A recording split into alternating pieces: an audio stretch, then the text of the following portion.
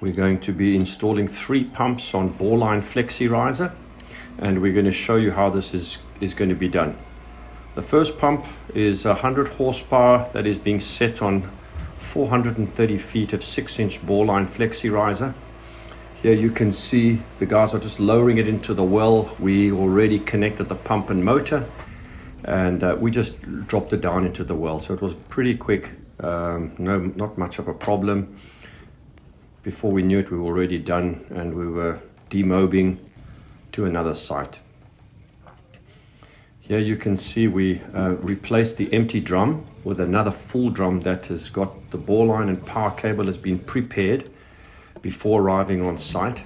So on site all we have to do is connect the pump and motor and splice the power cable.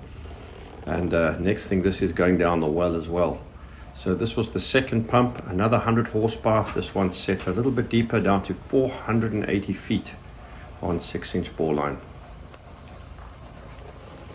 It's obviously one continuous length and you can just see the ease with which it's installed. No stress situation at all going on here. Just one operator lowering this down into the well.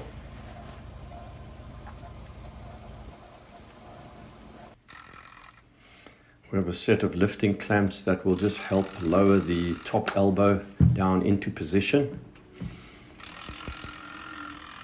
And once that is done, we are completed with this installation as well. So there we are, there we go, two down. This is about midday at this stage and um, we're off to the third well. This is a four inch Boreline also about 430 or 450 feet. Again, we had done the preparation before. Here you can see the Boreline is rolled onto a cable drum. It left the warehouse like that. Power cable connected and strapped along the entire length. Here the guys are just preparing the pump and motor, the pump sleeve as well.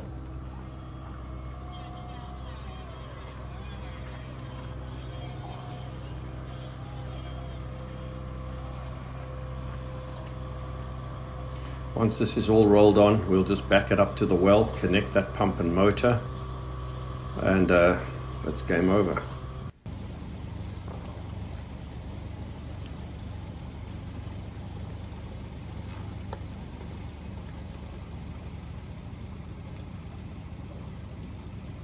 This pump puller, Flexi Riser pump puller is a really cool piece of equipment. It's a hydraulic trailer mounted spool system this one's driven with a diesel engine. And that is it. If you have any questions, please give us a call uh, or visit the website at boreline.com.